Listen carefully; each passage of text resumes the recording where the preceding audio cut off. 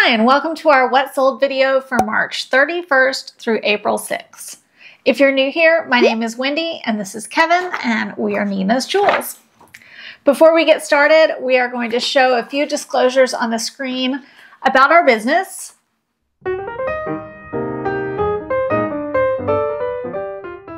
And we're back. All right, let's dive into what sold this week. If you missed our last week's What Sold video, check that out because it explains some things that were going on in our personal lives that have affected our sales for the past couple of weeks. Yeah. That has definitely affected our sales this week. Our sales are way down. That is because we have not been able to focus much on listing at all. We have not listed anything for like two weeks. Nothing. So sales are definitely affected by that. If you want to find out the story behind why we haven't been able to list, that is in our previous what sold video. All right, well, let's dive in to what we did manage to sell, which all things considered, not bad. Okay, the first thing that sold was a pair of women's Cole Colhan Grand OS black suede peep toe slingback heels. These were found in the Goodwill bins. We paid 67 cents for them and they sold for $27.18. Next up was a vintage 1984 U2 Pride 45 single record. We got this at a garage sale for $3.28. I mean, technically, we didn't pay $3.28 for this, but when we bought at this garage sale, we purchased everything in bulk and then I just took the amount that we up. paid and the number of items that we got at the sale and split them all up equally. So we wouldn't have paid three twenty eight for a forty five. yeah. So technically, I mean, they probably like said like, oh, that's 50 cents or something like Yeah. that. But we just did it as a bulk buy and I divided everything out equally. So um, this sale worked out a long time ago. This particular item, like the profit on the spreadsheet didn't uh, seem like very much, but trust me, this sale was well worth it.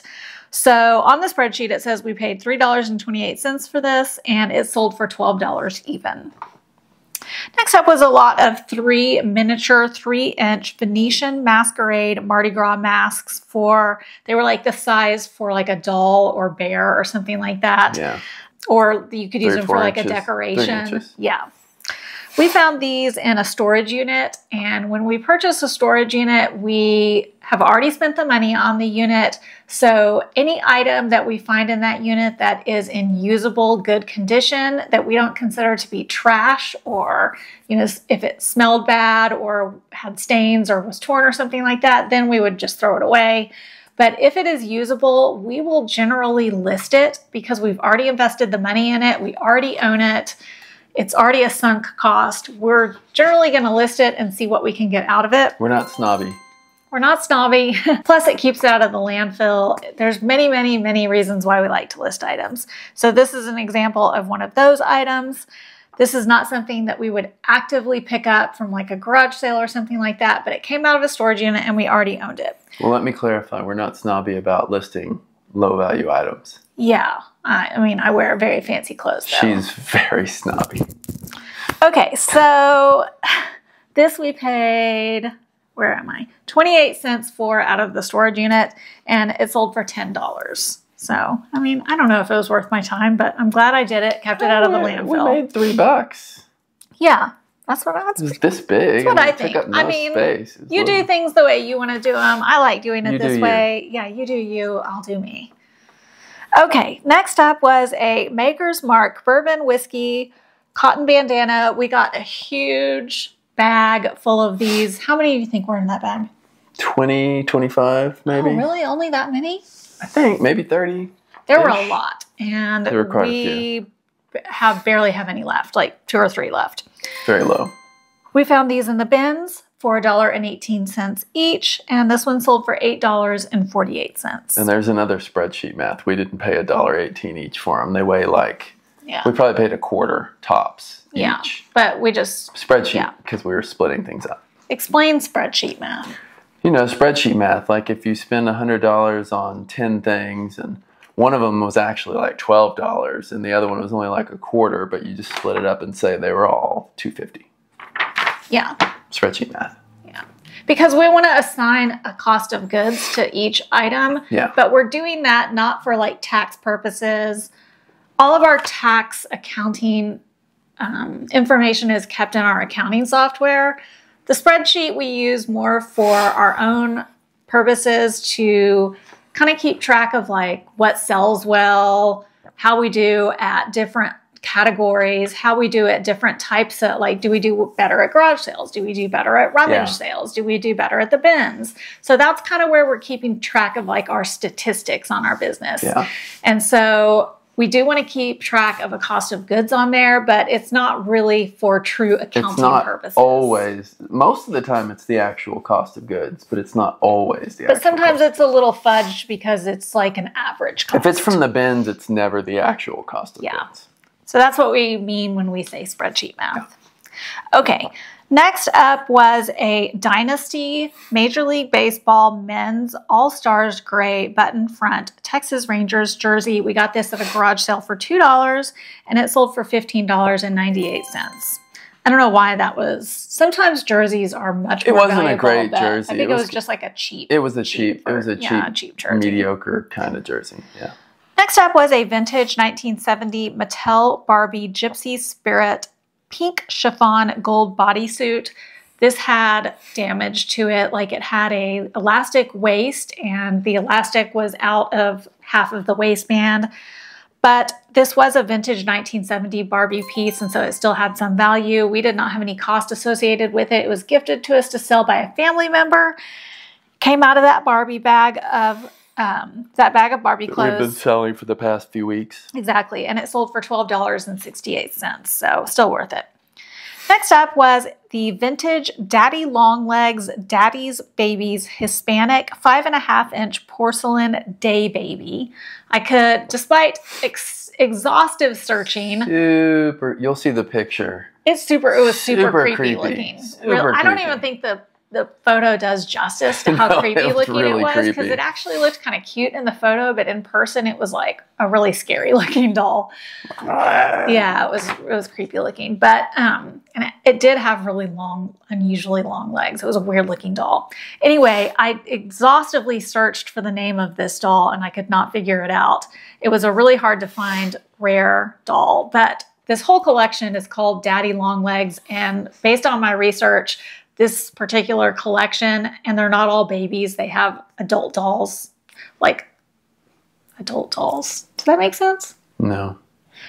Um, Dolls of adults. yeah, they're not all just like little babies. Some of the dolls are of like adult figures, like the parents of the babies. Some of them are like family collection, stuff like that. But this whole collection of daddy long legs dolls is valuable and sought after. So that's something to be on the lookout for. They're hard to miss. They're creepy. Yeah, they are. They're hard to miss and they're hard to find. Anyway, I found two of these in the Goodwill bins. We decided to leave one behind because it had damage to the porcelain. I almost wonder if we should have picked it up. Had we known that how valuable they were, we probably would have picked that one up and just sold it as is. Yeah, sold them as a lot or something.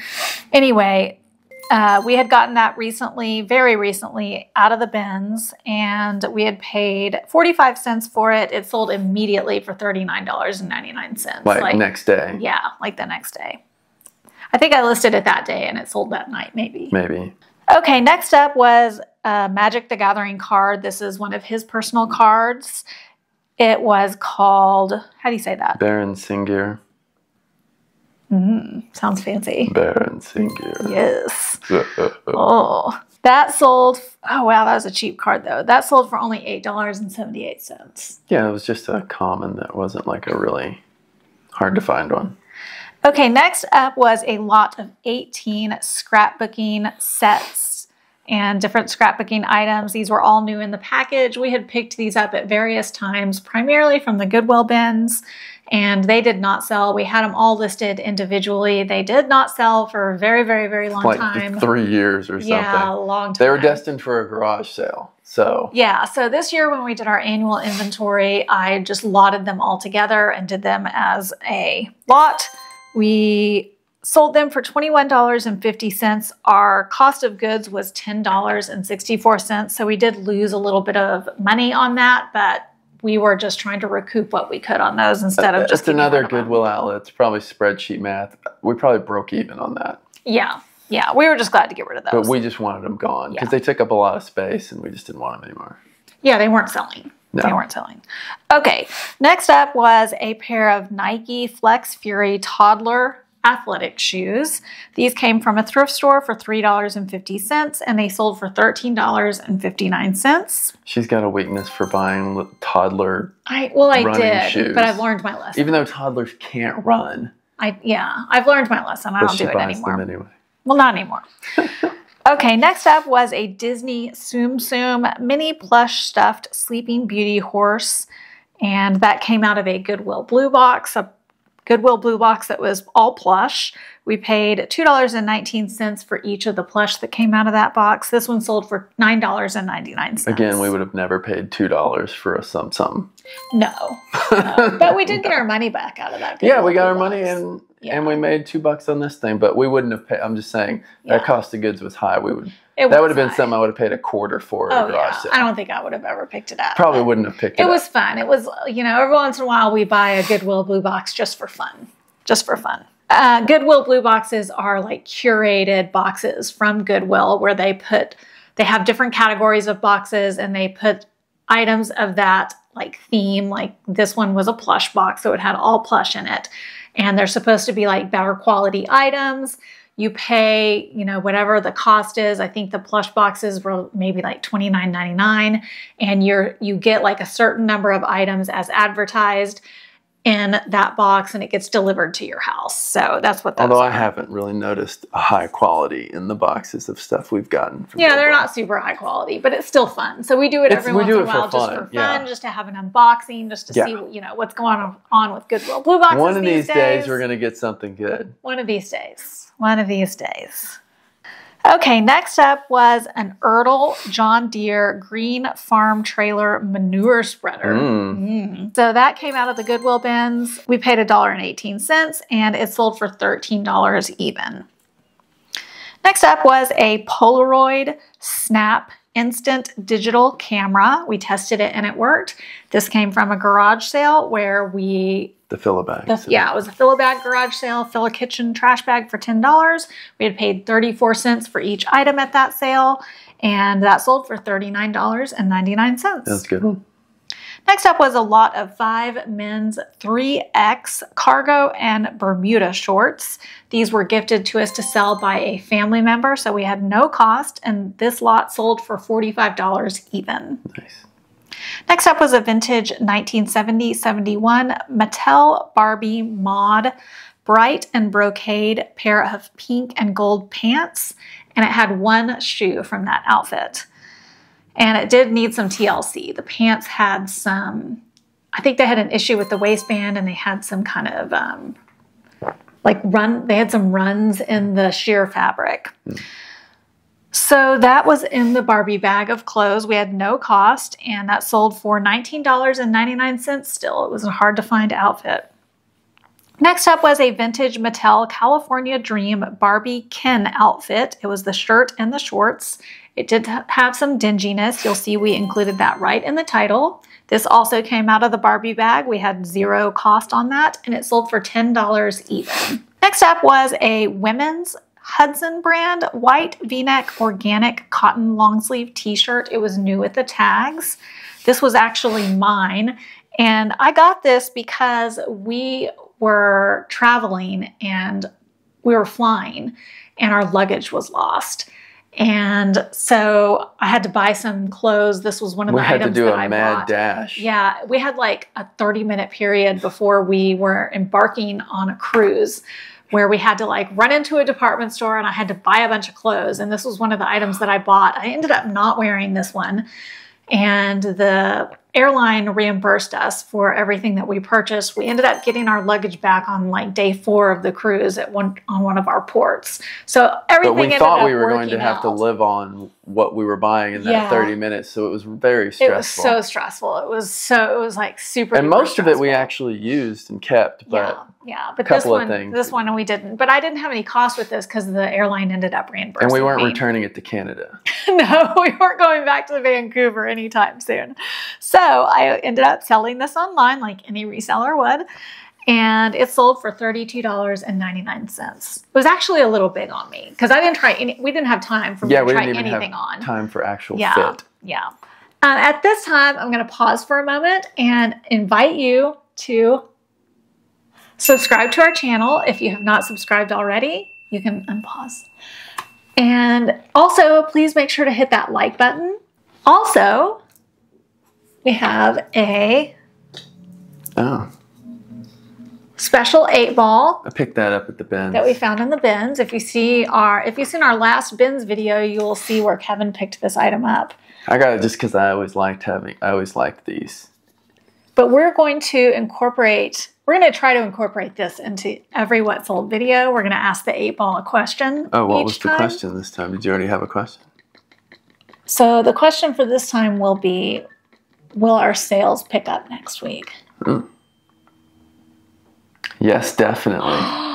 That's Yay. thank goodness That's because if you see what the totals are this week, Yeah. that's very it's pretty good. bad. Yeah. But you can submit your eight ball question for us to ask the eight ball next week by commenting below. Let us know what question you would like us to ask the eight ball, and maybe your question will get selected for our next video. We'll ask the all-seeing, all-knowing magic eight ball. Yeah, the magic eight ball.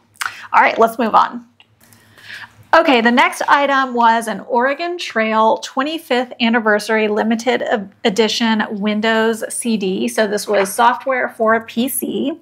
We found this at a garage sale for a dollar. It was the disc only. We didn't have the case or anything, and it sold for seven dollars and ninety-eight cents. We got good feedback on that, like day before yesterday. Next up was a Kohl's Juniors blush pink tie-dye ACDC band ribbed tank top. It was new with tags. This was actually gifted to us to sell. We had no cost and it sold for $17 even. Next up was a pair of women's Lugz boots. These were hiking boots. These were gifted to us to sell by a family member. We had no cost and they sold for $26.38. Next up was a 1989 Where There's a Will, There's an There's A. an A. this was a VHS set with a parent's manual to help your kid get better grades. It was designed for elementary school kids. We found this at our most recent trip to the Goodwill bins. when we got the eight ball.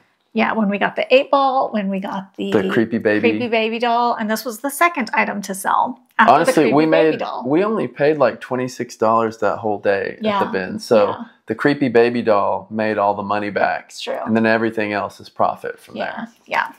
Oh, and just as a tip for this thing, because this uh, VHS set, if you have an old VHS set you're listing, I test everything because I don't want to sell it if it's not working. So I always try and take a picture of whatever the coolest still frame I can find from the VHS is and put that as an So what like was a the secondary coolest picture. image you could find from There were no video? cool pictures in this video. It was just a guy talking talking in front of a podium. There were no cool pictures from this. There weren't, but I put a picture of the guy talking on in the podium hmm, Huh. so that you could they could see what the tape actually looked like, what Yeah. the content. But always try and do that, especially if it's something It does help it sell. like a Barney or some, or if it's like we had a massage VHS set one time, and it, it was, was really, really weird creepy and and creepy weird. and seventies-y. yeah, And he, just the picture was really like, "Uh?" so yeah, that it, I think that helped make it sell. yeah. I think it helps make VHS sell in general, and it shows them that it actually works because they can see True. the still frame. And they get an idea of what they're Just- buying My two cents. if they didn't know already. Yeah. That VHS, we had paid 45 cents for each of the items at the bins that day, and it sold for our full asking price of $24.99. Pretty quickly. And also, another tip um, that was just a brown cardboard box in the bins. If you're if you've never shopped the bins, if you come across like a grocery bag or Always a look inside brown everything. cardboard bag, a suitcase, Yeah. you know, we open everything in the bins. I've found lots of like computer peripherals inside Yeah, computer bags. that's where you find the good stuff. That's yeah. You got to really look. Yeah, you do. Okay, next up was another item we found in the bins, but it was from a previous trip. We got a big stack of these Tannerite stickers. Uh, I mean, over a hundred Tannerite stickers. We still have about ninety. We do. They have not been flying off our shelves, but they do sell at a steady pace. sell 'em, yeah. So we had paid 67 cents for each one, and this one sold for $7.99. And it goes eBay standard, so we made like five fifty. Yeah. Okay, next up was a toner cartridge. This one, all we have a bunch of toner cartridges that we got from a local. A long A time local? ago. Did I just say local? We have a bunch of toner cartridges. We have a bunch of toner cartridges that we got from a local toner, like remanufacturing toner cartridge where they refill the toners. And so they're not like branded toners, No, they're, they're uh, refilled. But anyway, we got a great deal on all of them. So we sell them every once in a while and, you know, make money on them. Although I would never buy them again because they wouldn't. They move take up- extremely they move slowly and they take up and a they lot of take space. up a massive amount of space. no, I wouldn't buy them again either. But, you but know, we are we're almost do. powered through most of them. we now. have and we do, we do make money on them. Yeah. So this one we had paid three dollars and nineteen cents on it, and it sold for thirty nine dollars and ninety nine cents. Next up was a 16 inch Jellycat teddy bear. It was new with the tags, but one of the tags was torn in half, so that's mm-hmm. why it says read in the title. We found this at the thrift store for $2.16. It sold for $39.98. Next up was a pair of Sonic Restaurant Swag Shop multicolor stripe satin shoelaces. I had hard to find in the title because I couldn't find them anywhere. I had the only pair of Sonic Swag Shop shoelaces that I could find anywhere. We found these in a storage unit. We paid 28 cents for them and they sold for $10.38. We got good feedback on that. And we got good feedback on that Jellycat, the last thing. That's good. I'm just because I see all the feedback. Next up was a Funko Pop Disney Ralph Breaks the Internet Fix It Felix vinyl figure. It was loose, not in the box. We found this in a thrift store toy bag. We paid 22 cents for it and it sold for $7.98. Next up was another item that came from our recent Goodwill trip. This was a pair of Vassarette black floral lace high cut panty hose. They were brand new in the box. Vintage hosiery can be pretty valuable, so it's worth picking up if you find it for the right price. We paid 45 cents for these and they sold very fast for $22 even. Next up was a DirecTV AC adapter. We found it in the bins one day because it was DirecTV branded. We picked it up. We paid 61 cents for it. Took a long time to sell, but eventually sold we got this a long time ago. We wouldn't really pick up a DirecTV thing like this anymore. No. This was old pickers Yeah. before we knew as much what we were doing. Yeah, But we got rid of it. Yeah. It sold for $7.98. Made 14 cents. But we got rid of it. We made 14 cents. We made 14 cents. yeah. It's contributing to our income. And actually, I think we got good feedback on that as well. yeah. Well, we recently lowered the price on it too. Yeah, yeah. Yeah. To we were just trying just to get rid get- of it. to get yeah, rid of it. to get rid of it. Okay, next up was a PGA Tour men's extra large solar block crew neck long sleeve shirt. So this is a long sleeve shirt that has the solar um, UPF. SPF, yeah, yeah, sun protection in it. It was new in the package. We got this during retail arbitrage. We paid four dollars and six cents for it, and it sold for twenty six dollars and sixty four cents. Next up was a Tim Holtz Idea-ology nine pack of miniature tiny vials. They were new in the package. We got these at a garage sale for 50 cents and they sold for $9.43. I will tell you that this brand, Tim Holtz Idea-ology, We sell everything we get. multiple things by this brand and they have all sold really well. This particular item took a long time to sell, but other things that we've picked up Went by really this brand fast. went really fast and we, you know, made decent money on it, but it, they just sold really fast. So I don't Yeah. know what it was about it, but this one did take a long, long time to sell. Okay, next up was a Chap Mei 4 inch Soldier Force Green Beret action figure. We found this in a thrift store toy bag for 19 cents and it sold for $8. Next up was a pair of Barbie and clone Western Cowgirl boots. We found these at a garage sale for 50 cents. Not out of the Barbie. Not out of the Barbie bag. And they sold for $10.50. Next up was something that did come out of the Barbie bag. This was a 2002 Mattel four piece lot of Barbie My Scene First Wave doll clothes. We had no cost on this and it sold for $17.98. We have sold so much Barbie in the past month. I know. It's like, like, half of our sales have now. been Barbie. so easy. This stuff, it's so nice. It's very small. It was fit not it in tiny easy, though. places. It was hard to do. it was hard. But the pictures are really easy Yeah. because they're just small. And then you package them up and put them in your bin, and it's really small. Everything's small, and shipping them, it's small. It's great. yeah, great. it was hard. Except for the research. Yeah. But that's our problem. okay, next up was a men's Atari Japanese short sleeve graphic t shirt. We found this in a storage unit for 24 cents and it sold for $11.98. It took a long time to sell that, and I really thought that would sell faster. They have it on Amazon. That's Oh, why. it was it was a pretty cool looking shirt. And last up was a pair of women's Lena Ballet flat Crocs shoes. We found these at a thrift store for $4.31 and they sold for $21.24. That wraps up all of our sales, so let's go over the totals. We had a total number of sales of 35 this week which is low, very low. And our average sale price dipped below 20, which which is low. is very low. It was $18.84. Our sales totaled $659.56, making for a very measly net profit of $324.34. It's weeks like these I'm really glad that we don't survive off of eBay money. Yeah, That would be bleak. it would be. But again, we didn't list a single thing for like two weeks. We didn't. And we weren't here. so, Power list.